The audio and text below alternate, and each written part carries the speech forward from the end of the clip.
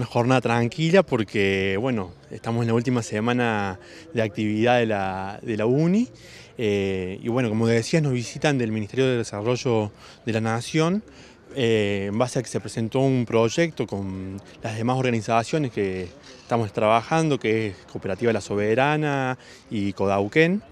Eh, a través de CTF se presenta un proyecto que es para el consumo, para tener un, un fondo rotatorio, para generar stock, Em, y bueno, para seguir incorporando eh, balanzas, heladeras, cuestiones que se necesitan para seguir fortaleciendo el proyecto del consumo en general. ¿Este proyecto hace poco que se presentó? Sí, este proyecto hará un mes y medio que se presentó, como decía antes, se presenta a través de, las cooperativas de CTF, Cooperativas Federales de Trabajo, y bueno, por lo menos se va desarrollando bien.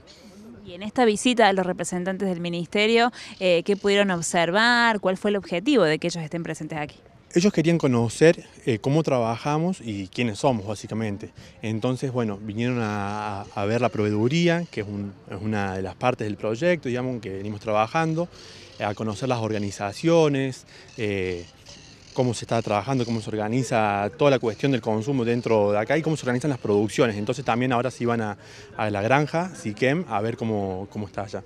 Invitarlos también para la próxima jornada que va a ser el 9 de, agosto en la instancia de Fericambio. Y la gente de la universidad cada vez se acerca más, es muy esperada esta proveeduría. Sí, la verdad que sí, venimos trabajando cada vez mejor, con mayor cantidad de pedidos, esta semana puntualmente es la última, hay muy poca gente dentro de la universidad.